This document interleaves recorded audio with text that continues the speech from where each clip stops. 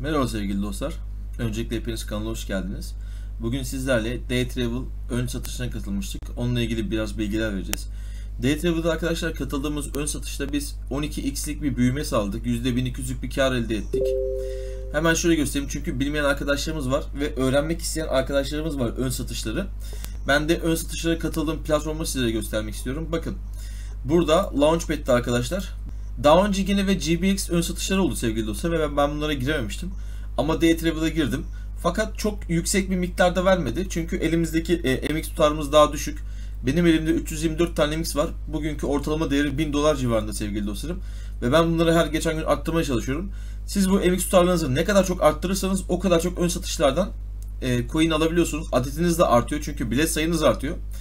Bakın şimdi benim siparişlerimde arkadaşlar ben 320 tane MX bağlamışım gördüğünüz gibi ve dönüştürme geçmişinde bana 23.72 tane travel coin'i vermiş ve 0.76 MX kesmiş.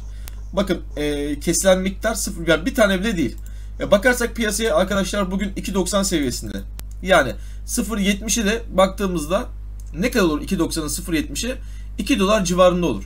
Benden arkadaşlar 2 dolar civarında kesti. Bak bakalım Travel ne olmuş?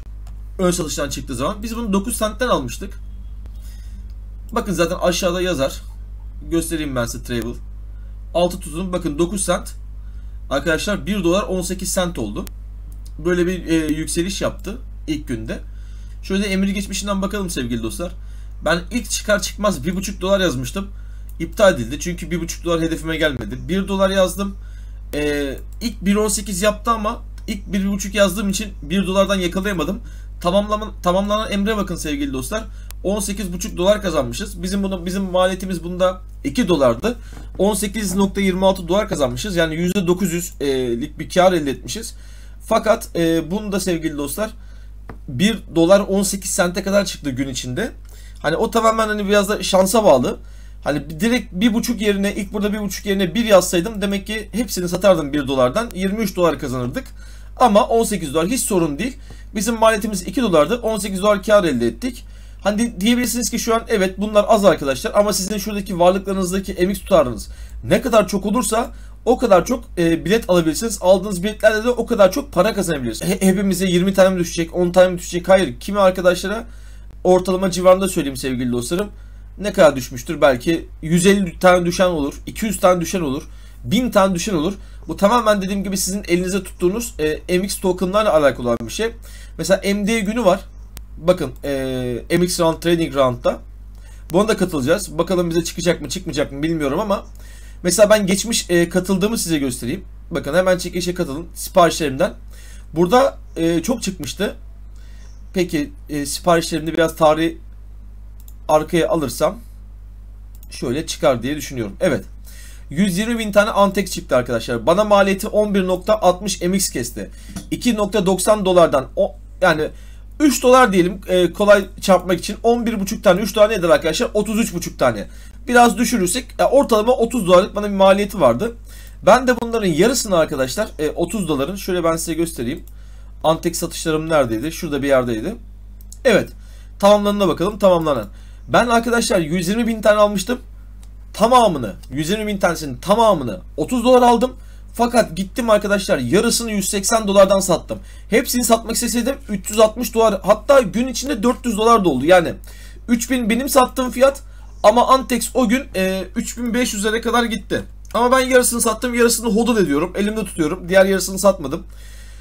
Bakın şöyle göstereyim ben size. Bunu 0.00250 gördüğünüz gibi. Gün içinde de arkadaşlar 0 3500'e kadar çıkmış. Ama ben 3000'lerde satmıştım. Şöyle 3000 neresi? Şu bölgelerde satmıştım. Bundan da arkadaşlar 30 dolar maliyetle tamamını 30 dolar aldığımızda 360 dolarlık güzel bir kazanç oldu. Tepede satsaydınız dediğimiz gibi 400 dolar. Yani kısaca arkadaşlar çok uzatmadan demek istediğim şu. Ön satışlarda eğer merak ediyorsanız, ön satış platformları arıyorsanız, ön satış platformlarından bir tanesi de bu sevgili dostlarım. Ön satış platformları önemlidir. E, bunlara katılabilirsiniz. Aynı zamanda Kickstarter etkinlikleri var. Bu coinlerin hepsi beleş. Hiçbir tane bile MX coin e, vermiyorsunuz. Yapacağınız tek şey elinizde tut, MX tutuyorsunuz. Tuttuğunuz MX tutarı kadar arkadaşlar sizlere bedava ödüller geliyor. Ben bunları nasıl e, kullanıyorum derseniz. Ben bunlardan gelen beleş coinleri arkadaşlar sürekli MX'e çeviriyorum. MX adetimi arttırıyorum. Ben buraya böyle kullanıyorum. Aynı zamanda DeFi var. Gördüğünüz gibi.